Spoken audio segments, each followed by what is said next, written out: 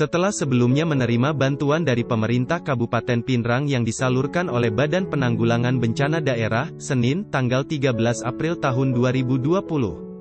Badan Amil Zakat Nasional Kabupaten Pinrang juga menyalurkan bantuan.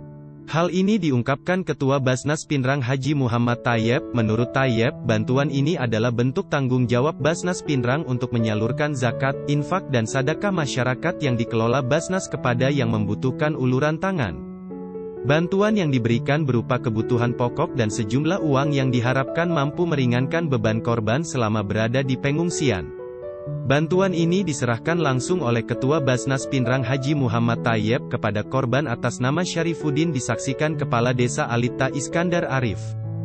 Bencana kebakaran yang terjadi beberapa waktu lalu ini menghabiskan sebuah rumah panggung, satu unit hand traktor, satu unit sepeda motor dengan kisaran total kerugian yang dialami Syarifuddin senilai 250 juta rupiah.